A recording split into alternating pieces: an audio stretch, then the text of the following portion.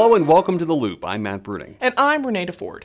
Even as summer begins to transition to fall, work zone safety continues to be a top priority, not only for ODOT, but for our partners at the Ohio State Highway Patrol. This summer, the patrol has stepped up enforcement in work zones, and it's working. Here are the latest numbers from this ongoing effort to make Ohio's work zones safer. ODOT, the Ohio State Highway Patrol, and LESET promoted work zone safety during an event in Wayne County. One of the speakers, Dana King, talked about the crash that claimed the life of her son, Alex, as he was working on a construction project back on June 7, 2021. Now, all I can ask of you is that you please slow down, pay attention, put your phone down, and realize that these accidents happen in a split second. One small distraction can cause a lifetime of devastation.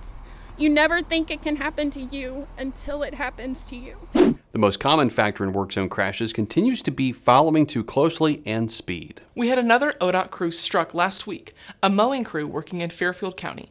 A motorist tried to pass the mowing crew on a double yellow line when they drove in between the mower and shadow vehicle and were hit.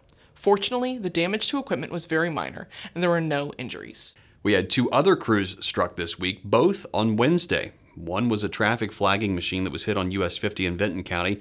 The driver then fled the scene. Then on I 75 in Shelby County, a crew was struck by a semi truck after the driver said he fell asleep. The ODOT crew was checked out at the hospital with non life threatening injuries. This puts us at 57 crews hit, topping last year's figure of 56. Again, move over, slow down, and pay attention. All right, we need your help. Last week, we told you how the I 70 71 Downtown Ramp Up Project won an award at the MAASTO conference. Well, this week, we found out that it advanced the America's Transportation Awards. We need you to vote for it. To do that, you can find a link in the description of this video or just scan the QR code that's on your screen right now. The winning state gets $10,000 to donate to charity. You can vote once per day per device. We're using technology to make our roadways more stable against the forces of nature. Our Office of Geotechnical Engineering is using updated drilling technology to more accurately gather data on the type of soil around Ohio, as well as the behavior of those various soils. So here, this is a CPT, a cone penetration test piece of equipment. This is used to gather soil strength data for roadways and to help design better roads and mitigate geohazards.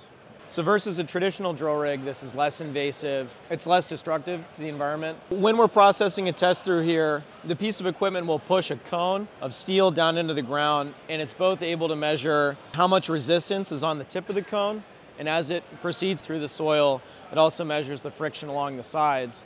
And the difference between both of those is a ratio that you're able to estimate how the soil behaves. And so we can estimate a composition based on that without having to take a sample and get a lab test of it. This machine allows you to get a really accurate representation and really good resolution of different areas that might be missed by traditional methods. And so that can save us time and get a really good accurate profile uh, what part of the soil needs attention to be fixed. This technology, as opposed to a traditional drill rig, is more efficient, more accurate, less intrusive, faster, and more cost effective. Well, a few weeks ago, we told you about an ODOT effort to collect used books for the communities that we serve. Well, check out this unique way to get about 6,000 books to a local book bank in Northeast Ohio.